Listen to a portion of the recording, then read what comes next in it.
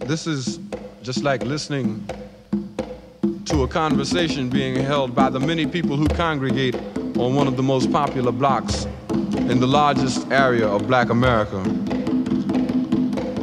Did you ever eat cornbread and black eyed peas or watermelon and mustard greens? Get high as you can on Saturday night, go to church on Sunday to set things right? Listen. I seen Miss Blake after Willie yesterday. She'd have killed anybody who'd have gotten her way. Hey, look, I got a TV for a pound on the head, and Jimmy Jean got the best Panamanian red. No, I ain't got on no underclothes, but the hawk got to get through this gypsy rose. I think Clay got his very good points.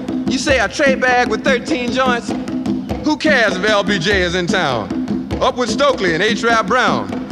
Well, I don't know if the riots is wrong, but Whitey been kicking my ass for too long. I supposed to, baby, but they held my pay.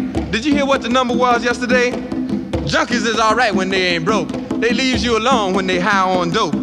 Damn, but I wish I could get up and move. Shut up, hell, you know that ain't true.